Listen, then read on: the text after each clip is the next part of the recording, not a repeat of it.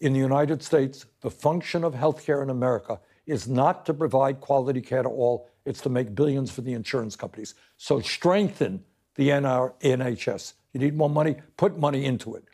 But don't go the American route. We're trying to get out of that. The Labour Party in the UK, one of the ways that they're looking at potentially strengthening the NHS is more partnerships with the private sector, using spare capacity in the private sector. I would be nervous about that. I don't know all the details, but it sounds to me like the wrong direction. Really? You, because the private sector you think is... Look, the function of the private sector is not to provide quality care. What the function of healthcare is not complicated. Everybody should be entitled to the best care the system can provide.